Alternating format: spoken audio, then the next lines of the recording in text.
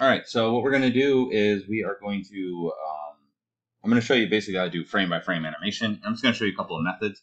The first method I'm going to show you is just how to do a, a straight ahead animation, a typical kind of real free form, just one frame after the other, uh, just a rough way of how I would go about doing it. All right, so what I'm going to do is on this bottom layer, rename this. We're actually going to do an underdrawing.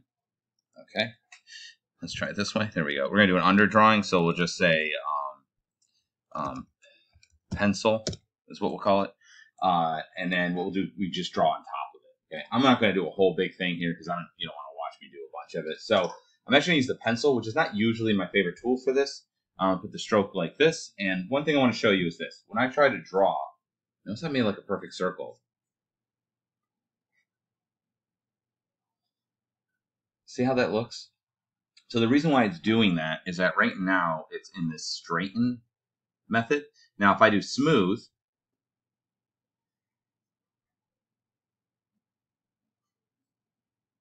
what you're going to see is that I get a little bit of assist, okay, but not as much, but it's definitely not exactly where my lines were. Now if I do the last one,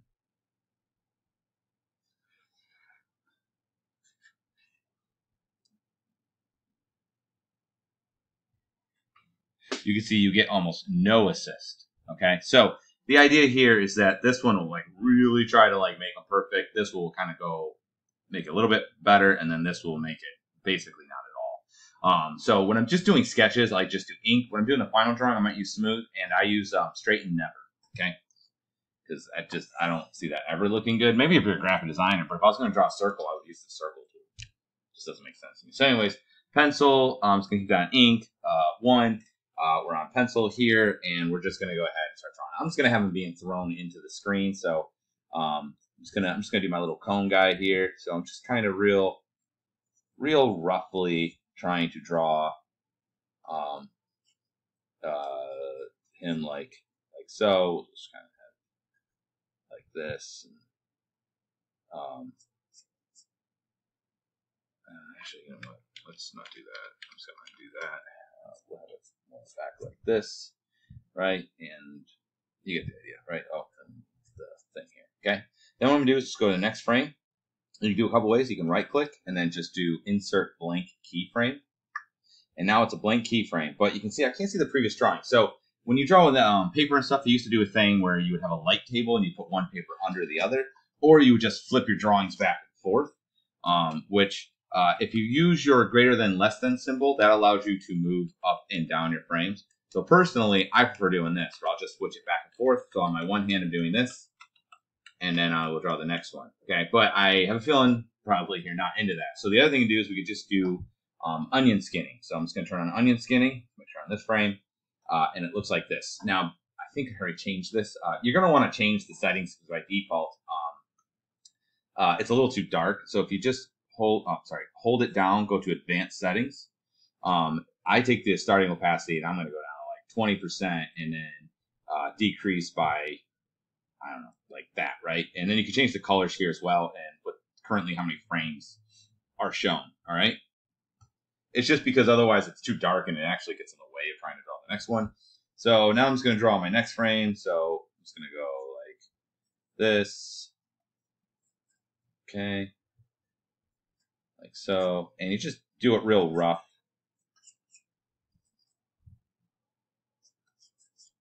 Right, so we say now, uh, I might be doing a little bit too rough, but it's fine. No one needs to know.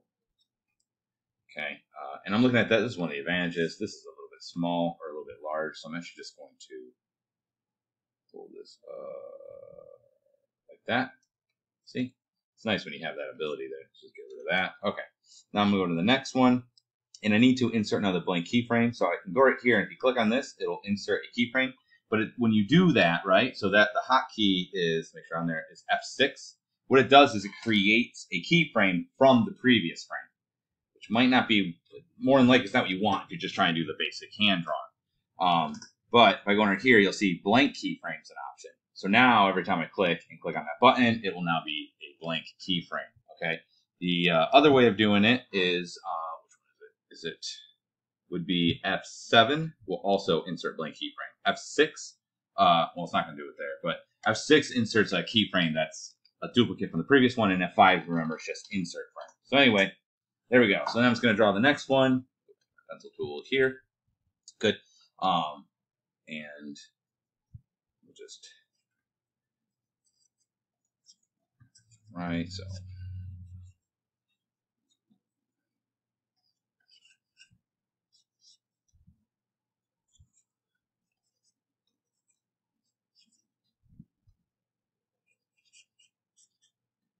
like that. And then uh, insert the next keyframe. So I'm just going to have uh, 7 this time. And then I'm just going to have it go down like this. Right, so this could obviously be drawn better, uh, and I could do something probably a lot cooler, but I'm not going to because I don't want to spend a ton of time here on stuff here that's not going to really be valuable to you. Okay. So if I were to hit play, you can see I'm hit loop too. So and I'll just make sure this extends the full thing. Turn off um, the uh, onion skinning. You can see it being moved. So one of the issues is that it's running 30 frames per second. That's a little too fast. So I'm just gonna have nothing selected. Make sure I'm in my dock, and I'm gonna change the frame rate. Let's just do 12, so that way each one of these gets held for two.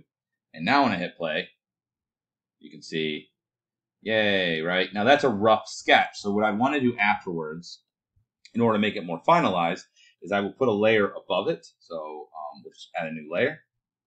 And we'll just call this um, final. Characters in, did I put a special character in there? I did not know that I put a special character. Oops, don't mind that. Um, and let's back that up. Should just be final. I have no idea what's going on there, but whatever. Okay. So um, yeah, we can leave loop on. So what I'm going to do is I'm just going to basically draw over top of these um, and go from there. So let's go make sure I'm in that first frame. Um, and what I want to do is actually, just like we did before, I'm going to double click on this and change the opacity. And let's do the opacity. Oops, not there, sorry. Let's do the opacity. Let's do 20% because I don't want it to be too much. And we'll hit OK. We'll hit OK. Okay, okay, okay. There it goes. All right. And now what I'm going to do is start drawing this. Um, what's interesting is that that didn't actually take. So 20%, thanks. Opacity, 20%. 20. Okay. Okay. Uh, that is really weird. I have never had that happen. All right, so uh, it's acting very strange in general. Um, let's actually let's try one more thing. Let's type in 20 here. There it goes. Uh, for whatever reason, when I was using my numpad on my keyboard, that was making it, and I think maybe that's what happened. I don't know. It's acting really weird. But anyways, eventually got it to work. I have no idea why it works typing it not on the numpad, but all right, so now it's 20% and it's behind us, and I'm just going to use that as a guide. So at this point, I could use the pencil tool if I like that straight line thing. Uh, personally, I'm more a fan of the uh, paintbrush tool here. Um, either the paintbrush or the fluid brush, whatever one you kind of like.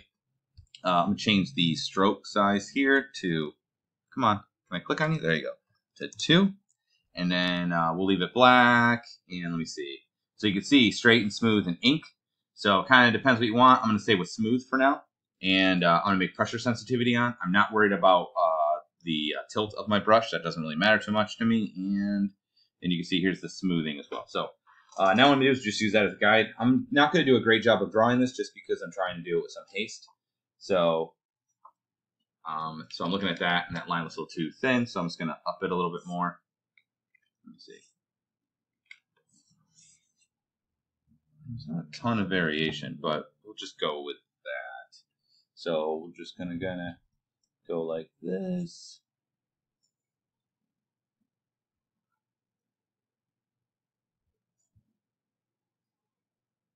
So imagine I was doing a nice job. Does the eraser work on this? Oh, it does. Sweet. Okay. Um, right. So you can kind of see I'm just going to use the drawing underneath as sort of a guide. And then we'll just draw. Okay. And then what I'm going to do is go to the next one, and then I can either have uh, F7 or I can just little button here. That'll make a new blank keyframe. And again, I'm just going to use this as a guide. Right? So I'm doing a bad job, but it's kind of because I don't really care right at the moment. But you know, you would spend more time. I personally, I would spend more time on this. So I would hope you would. Um,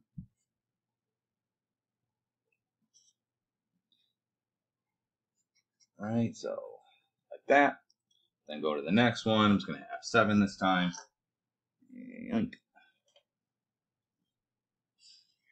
Right, so you're just tracing what you already drew, more or less.